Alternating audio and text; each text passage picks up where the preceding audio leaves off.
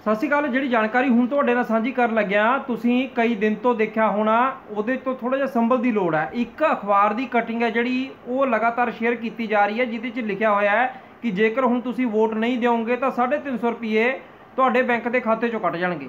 ਹੁਣ ਲੋਕਾਂ ਨੇ ਵੀ ਜੇ ਦੇਖੀਏ, ਬਿਨਾ ਇਹਦੀ ਕੋਈ ਜਾਂਚ ਪੜਤਾਲ ਕਰੇ ਅੱਗੇ ਤੋਂ ਅੱਗੇ ਸ਼ੇਅਰ ਕਰਨੀ ਸ਼ੁਰੂ ਕਰਤੀ, ਉਹ ਇੰਨੀ ਜ਼ਿਆਦਾ ਵਾਇਰਲ ਹੋ ਗਈ ਕਿ ਆਖਰਕਾਰ ਉਹਦੇ ਤੇ ਤੁਸੀਂ ਦੇਖੋ ਕਿ ਫਿਰ ਪੜਤਾਲ ਹੋਈ। ਪੜਤਾਲ ਦੇ ਵਿੱਚ ਕੀ ਖੁਲਾਸੇ ਹੁੰਦੇ ਨੇ? ਪਰ ਇਹ ਇਹ ਦੇਖ ਕੇ ਬੰਦਾ ਹਮੇਸ਼ਾ ਘਬਰਾ ਜਾਂਦਾ ਕਿਉਂਕਿ ਅਮੂਮਨ ਤੌਰ ਤੇ ਬਹੁਤ ਸਾਰੇ ਲੋਕ ਵੋਟ ਨਹੀਂ ਪਾਉਂਦੇ ਹੈਗੇ। ਪਰ ਇਹਦੇ ਨਾਲ ਹੀ ਇਹ ਗੱਲ ਇੱਕ ਅਖਬਾਰ ਦੀ ਕਟਿੰਗ ਬਣਾਏਗੀ, ਜਿਹਦੇ 'ਚ ਲਿਖਿਆ ਗਿਆ ਕਿ 350 ਰੁਪਏ ਤੁਹਾਡੇ ਬੈਂਕ ਖਾਤੇ 'ਚੋਂ ਕੱਟ ਜਾਊਗਾ। ਹੁਣ ਬਿਨਾ ਸੋਚੇ ਸਮਝੇ ਬਹੁਤ ਲੋਕਾਂ ਨੇ ਸ਼ੇਅਰ ਵੀ ਉਹਨੂੰ ਕਰਿਆ, ਉਹਦੇ ਤੇ ਨਾਰਾਜ਼ਗੀ ਜਤਾਈ, ਲੋਕਾਂ ਨੇ ਕਈਆਂ ਨੇ ਕਈ ਕਈ ਕਈ ਤਰ੍ਹਾਂ ਦੇ ਭੱਦੇ ਕਮੈਂਟ ਵੀ ਕੀਤੇ। ਤਾਂ ਉਦੋਂ ਬਾਅਦ ਜੇ ਕਿਹਾ ਜਾਵੇ ਤਾਂ ਇਹਦੇ ਵਿੱਚ ਹੈਗਾ ਕੀ ਸੀ ਮਟੀਰੀਅਲ 'ਚ?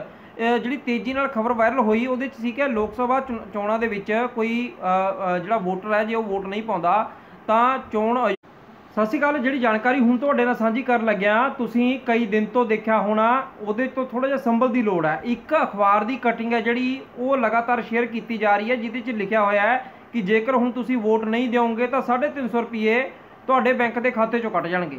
ਹੁਣ ਲੋਕਾਂ ਨੇ ਵੀ ਜੇ ਦੇਖੀਏ ਬਿਨਾ ਇਹਦੀ ਕੋਈ ਜਾਂਚ ਪੜਤਾਲ ਕਰੇ ਅੱਗੇ ਤੋਂ ਅੱਗੇ ਸ਼ੇਅਰ ਕਰਨੀ ਸ਼ੁਰੂ ਕਰਤੀ, ਉਹ ਇੰਨੀ ਜ਼ਿਆਦਾ ਵਾਇਰਲ ਹੋ ਗਈ ਕਿ ਆਖਰਕਾਰ ਉਹਦੇ ਤੇ ਤੁਸੀਂ ਦੇਖੋ ਕਿ ਫਿਰ ਪੜਤਾਲ ਹੋਈ।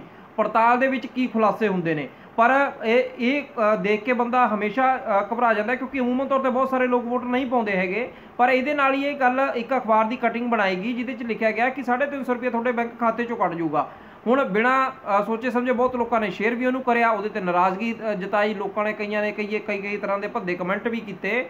ਤਾਂ ਉਦੋਂ ਬਾਅਦ ਜੇ ਕਿਹਾ ਜਾਵੇ ਤਾਂ ਇਹਦੇ ਵਿੱਚ ਹੈਗਾ ਕੀ ਸੀ ਮਟੀਰੀਅਲ 'ਚ? ਜਿਹੜੀ ਤੇਜ਼ੀ ਨਾਲ ਖਬਰ ਵਾਇਰਲ ਹੋਈ, ਉਹਦੇ 'ਚ ਸੀ ਕਿ ਲੋਕ ਸਭਾ ਚੁਣ- ਚੋਣਾਂ ਦੇ ਵਿੱਚ ਕੋਈ ਜਿਹੜਾ ਵੋਟਰ ਹੈ ਜੇ ਉਹ ਵੋਟ ਨਹੀਂ ਪਾਉਂਦਾ, ਤਾਂ ਚੋਣ